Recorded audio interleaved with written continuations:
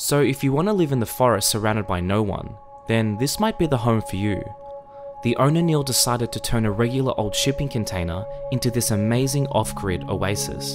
The perfect escape from the grind, surrounding yourself with nature.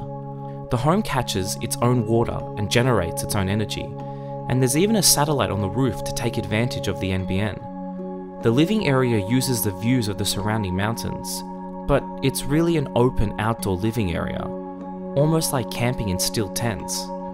The perfect place for a dream weekend getaway